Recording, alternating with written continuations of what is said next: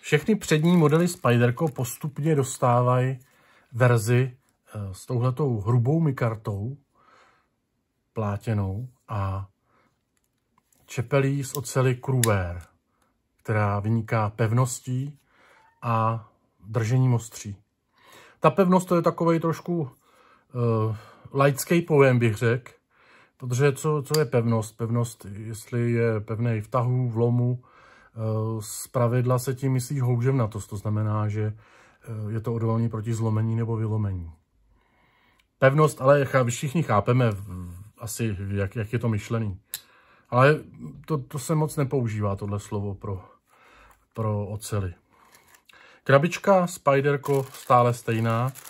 Tady je, protože ta ocel zřejmě není zcela, ano, je to uh, nástrojovka, takže není zcela, zcela nerezová, tak je tady velký pytlíček toho přípravku pro stahování vlhkosti. To se dává ke většině nožům, i k nerezovým. Třeba Kershaw to dává úplně ke všem nožům. To najdete třeba dva pytličky v každém balení nože. I toho nejlevnějšího. Manix 2XL. To je pořádný kus nože. Já tuším, že tuhle tu verzi Kruverovou dostalo už paramilitary, military a nativ. Další netuším. Marek si to určitě zaslouží, protože to je už taky velmi oblíbený model, ačkoliv nepatří k těm úplně původním nejstarším. Já mám dojem, že přibyl až někdy v, v, v době takových na začátku tisíciletí, možná. Taky zřejmě vždycky nemá tuto pojistku,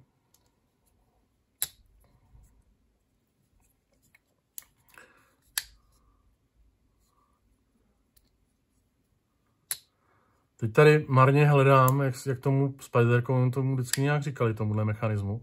Dřív tam bývala kulička, teď tam dávají plastový posuvný packy takový. No a už tomu asi taky začnou říkat příčka crossbar. Protože to je velmi podobný těmhle těm pojistkám současným. A princip je prakticky stejný.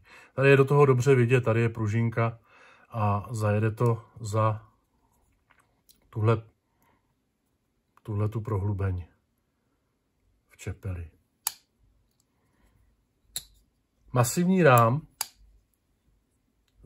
zdobený protiskluzovými zoubkama. Přemýšlím, jestli to na nějakém modelu bylo takhle výrazný někdy u, u Spiderka. Vypadá to moc dobře. Zvlášť v kombinaci s tou drsnou mikartou. Naturální nebo hnědou, jak chcete. Ona je označována jako hnědá.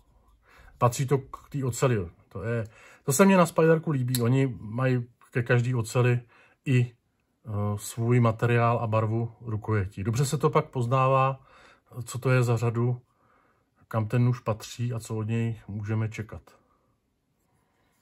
To se musí nechat, že tohle mají promyšlený. Čepel je úžasná, to už má parametry kuchyňského nože, takového menšího eh, šéfáka. A určitě je vhodný pro, pro takové práce, jako zpracování potravin. A spoustu dalších věcí.